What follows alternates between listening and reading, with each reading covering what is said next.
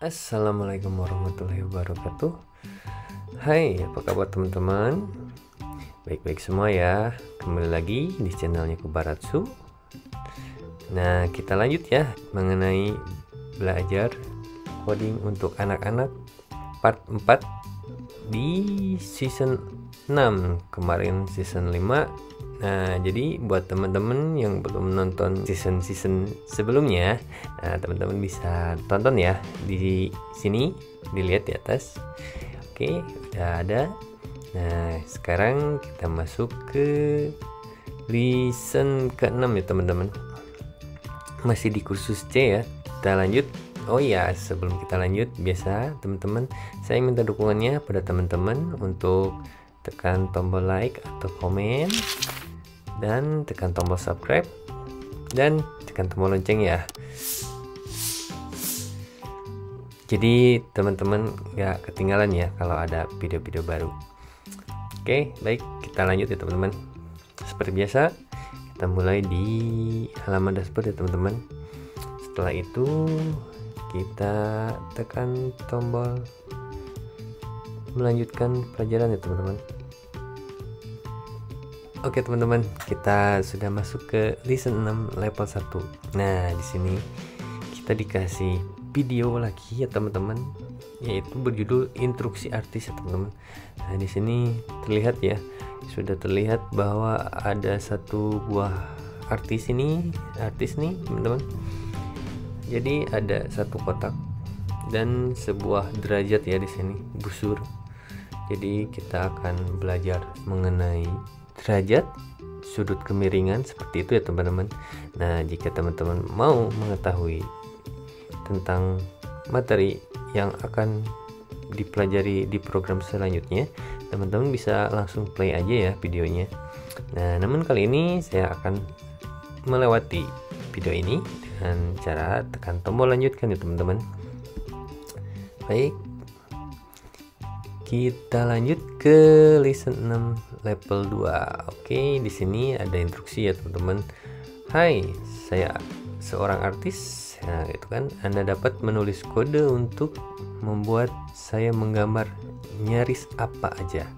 Jadi di sini artis boleh menggambar apa aja jadi gitu ya teman-teman. Jadi di sini mainkan blok di toolbox untuk melihat apa-apa yang dilakukannya. Jadi gitu seperti itu ya jadi kita di sini itu suruh mencoba semua semua blok yang ada di sini ya teman-teman. Kita coba-coba dulu kita jalankan kita masuk-masukkan dulu kita cobain. Jadi seperti apa nantinya pergerakan si artisnya? Biar kita tahu dulu ya teman-teman. Jadi kita cobain masuk-masukin dulu semuanya. Seperti apa? Oke kita play Oke seperti itu ya teman-teman. Kalau dicobain semua kita cobain satu-satu biar nggak pusing ya. Kita maju. Biasanya dikasih maju lagi ya teman-teman. Kita cobain. Kita jalankan. Oke. Kita suruh belok kanan lagi. Maju lagi dan belok kiri. Kita coba ya teman-teman.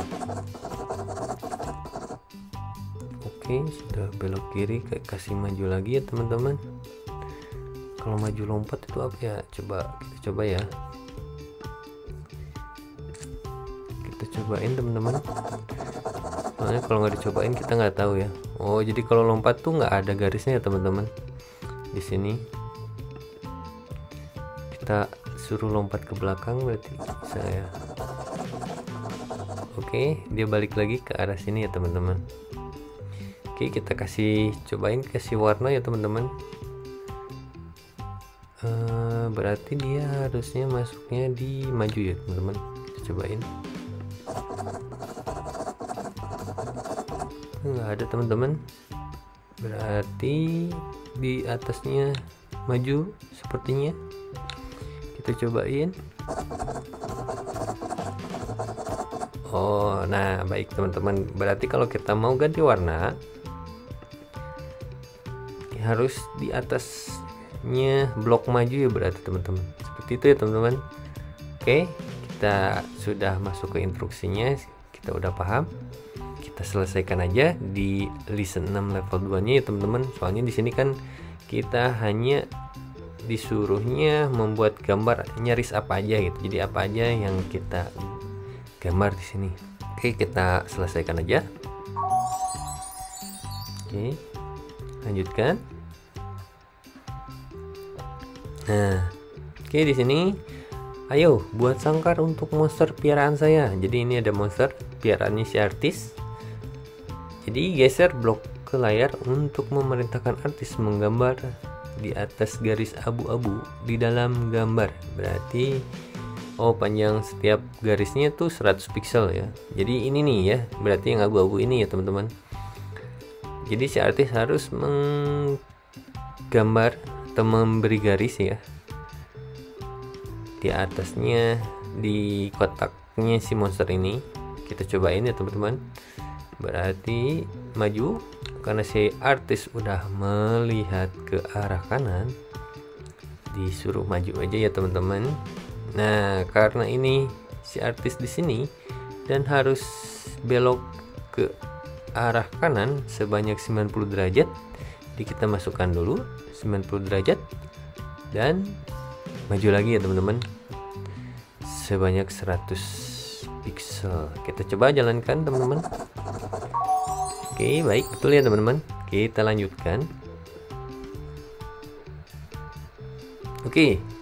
Nah, di sini pesawat antariksa ini membutuhkan jendela. Katanya seperti itu ya teman-teman. Beri sisi persegi 4 dalam adalah 100 pixel dan sudutnya adalah 90 derajat. Berarti ini ya teman-teman ya. Jadi uh, kita bukan menggambar roketnya tapi menggambar jendelanya aja ya teman-teman. Oke kita seperti biasa kita pakai pengulangannya teman-teman. Jadi kasih maju. Lalu belok kanannya sebanyak 90 derajat. Kenapa dikasih 4 karena persegi 4 jadi di sini ada garis abu-abunya sebanyak 4 kali ya teman-teman. Satu dua tiga empat. Nah oke kita cobain ya teman-teman. Apakah berhasil?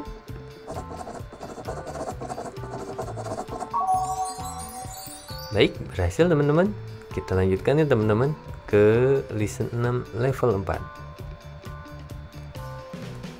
oke teman-teman kita sudah masuk ke listen 6 level 5 ya teman-teman Wah di sini ada Apollo ya teman-teman. Nah katanya di sini alien piaraan Starla kabur begitu saja katanya ya. Ayo bantu antariksa berarti kita harus bantu Starla ini membuat satu buah Apollo berarti ya. Nah di sini terlihat gambarnya bahwa Apollo-nya masih kurang ya untuk kepalanya atau untuk atasnya ini ya bukan kepalanya juga sih. Oke untuk atasnya ini yaitu berbentuk segitiga ya teman-teman. Nah di sini segitiga, segitiganya itu adalah untuk panjangnya 100 pixel ya teman-teman. Dan untuk sudutnya 120 derajat. Jadi kalau segitiga sama sisi ini berarti sudutnya adalah 120 derajat ya teman-teman. Jadi harus diingat ya. Kita cobain yuk. Kita masukin. Gerak maju sebanyak 100 pixel dan belok kiri.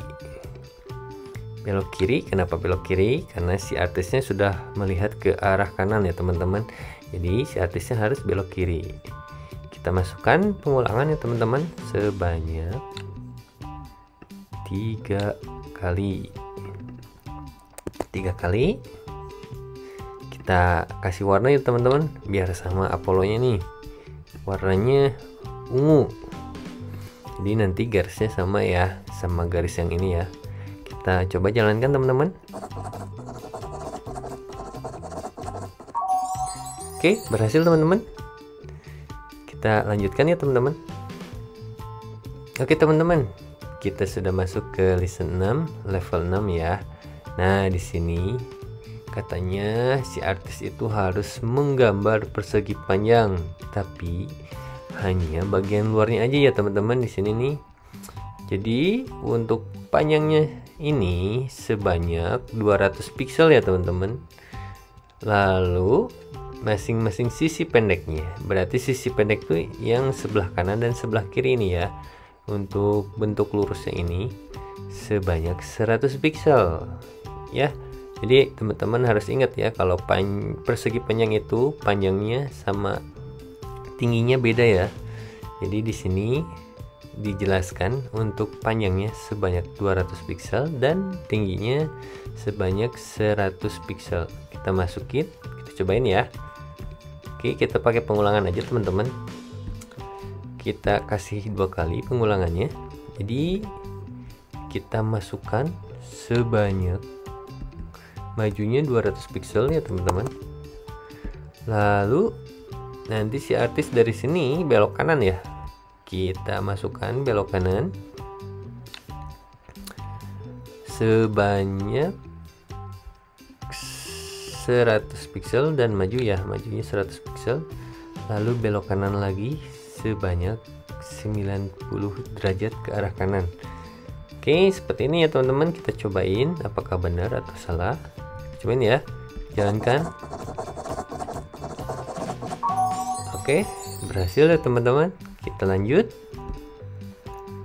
Baik teman-teman. Kita masuk ke listen 6 level 7 ya teman-teman Nah di sini terdapat satu buah gambar yaitu persegi empat tapi ke pinggir yaitu biasanya namanya belah ketupat ya teman-teman. Oke di sini seperti biasa. Jadi si Bella ini harus menggambar atau menggarisi garis luarnya teman-teman. Di sini tuh. Jadi gambar belian dengan sisi sebanyak 200 pixel. Oke kita cobain. Karena belah ketupat ada empat garis kita kasih pengulangannya sebanyak empat garis. Dan majunya sebanyak 200 pixel. Kita rubah. Lalu karena si artisnya sudah melihat ke arah timur tenggara atau belok kiri. Jadi udah selurusan ya artis ini melihatnya. Kita kasih belok kiri aja dari sini sebanyak 10 90 derajat teman-teman. Kita coba jalankan betul apa enggak? Oke berhasil ya teman-teman. Kita lanjutkan ke level 8 Nah, di sini kita dapat tantangan ya, teman-teman. Seperti biasa, kita tekan tombol siap aja. Lanjut. Oke. Di sini bisakah Anda mengira-ngira cara menggambar garis luar sisi panjangnya 150 pixel dan setiap sisi pendeknya adalah 75 pixel. Oke. Di sini persegi panjang tapi ada segitiganya ya teman-teman. Kalau nggak salah ini segi 6 1 2 3 4 5 6 nah ini segi 6 ya teman-teman. Kita cobain. Saya mau buatnya dari sini sampai ke sini aja ya teman-teman. Soalnya dari ukurannya ini sama ya segi 6 ya. Jadi kita buat garis sampai ke sini aja ya teman-teman. Kita pakai pengulangan. Kita cobain ya. Sebanyak dua kali. Maju kasih blok maju. Sebanyak 150 pixel 150 pixel lalu dia belok ke kanan. Sebanyak 45 derajat sepertinya ya teman-teman. Nih ya biar teman-teman tahu ini perbedaannya. 45 derajat. Lalu maju sebanyak 75 jadi udah di sini ya. Kalau sampai maju di 75 di sini. Dan dia harus menukik ke bawah sebanyak 90 derajat ya teman-teman. Bukan 45 lagi soalnya dari sini kita mendapatkan garis siku-siku ya teman-teman. Jadi 90 derajat kalau garis siku-siku. Sebanyak 75 lagi majunya ya teman-teman ya kita coba ya teman-teman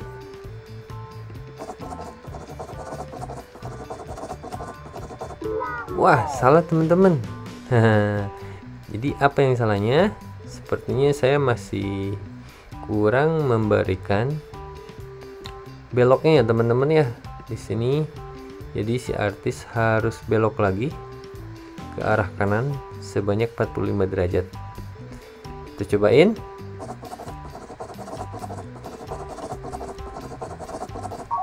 Oke, berhasil teman-teman. Jadi gitu ya tadi salahnya kurang belok ya berarti ya dia masih mengarah ke sini si artisnya jadi belum belok oke kita lanjutkan oke di sini artis harus membuat garis luar segitiga sama sisi. Nah sebanyak panjangnya 150 pixel ya teman-teman. Nah jadi kita udah pernah nyobain ya yang roket itu ya yang bikin segitiga sama sisi. Jadi jawabannya hampir sama ya teman-teman dengan yang tadi lupa lagi saya di level berapa. Mungkin teman-teman ada yang ingat tulis di komentar. Kelamaan ya teman-teman. Tadi di sini butuh panjangnya 150 ya teman-teman. Sebanyak karena segitiga sama sisi adalah tiga. Tiga garis ya satu dua tiga. Dan beloknya itu karena si artisnya sudah melihat ke arah kanan jadi kita ambilnya ke arah kiri ya jadi ke atas itu ke arah kiri sebanyak 120 derajat Oke, kita coba ya teman-teman. Seperti ini ya. Oke, cepet banget ya artisnya. Oh, ini ini speednya emang kelinci nih. Loncatnya nggak kura-kura ya. Kita lanjutkan teman-teman ya. Kita masuk ke level 10 ya teman-teman. Nah, di sini seperti biasa kita menjawab pilihan dari sebuah area kode ini. Jadi kita harus baca area kode ini bahwa si artis ini akan membuat gambar seperti apa ya teman-teman ya. Jadi di sini cermati kode ini dengan jeli katanya gitu kan. Ketika menjalankan. Jadi ini harus dipilih dulu baru klik jalankan. Jadi jawabannya tuh dari sini ya.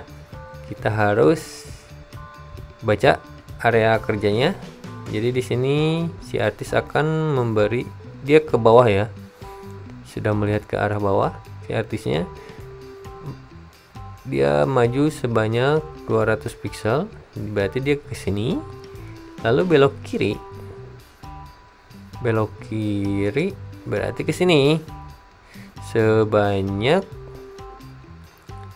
200 pixel lagi dan ke kiri lagi sebanyak 200 lagi dan ke kiri sebanyak 200 pixel lagi. Berarti si artis ini menggambarkan sebuah persegi empat ya teman-teman ya. Oke gampang kita cari jawabannya yang persegi empat. Untuk yang A ini sisi si artis akan menggambar segitiga sama sisi. Berarti salah ya tetot yang B si artis akan menggambar sebuah garis. Berarti garis doang kayak gitu ya. Cuman garis lurus berarti kan. Tetot juga. Dan yang C si artis menggambar persegi empat. Oke berarti jawabannya yang C ya teman-teman. Kita coba pilih. Kita jalankan ya baik berhasil teman-teman kita lanjutkan Baiklah teman-teman, kita sudah masuk ke listen 8. Berarti kita akhiri dulu untuk belajar coding untuk anak part 4 di listen 6. Nanti ada lanjutannya ya teman-teman untuk listen 8. Nah, jadi di listen 6 ini kita sudah belajar mengenai bentuk ya teman-teman dan derajat ya. Jadi semoga ilmunya lebih nambah lagi buat teman-teman dan lebih seru lagi ya. Oke teman-teman, seperti biasa saya minta dukungannya kepada teman-teman untuk tekan tombol like, komen, dan tekan tombol subscribe-nya dan tekan tombol loncengnya biar tidak ketinggalan ya untuk video-video selanjutnya. Terima kasih ya teman-teman sudah menonton video kali ini. Akhir kata dari saya, Assalamualaikum warahmatullahi wabarakatuh.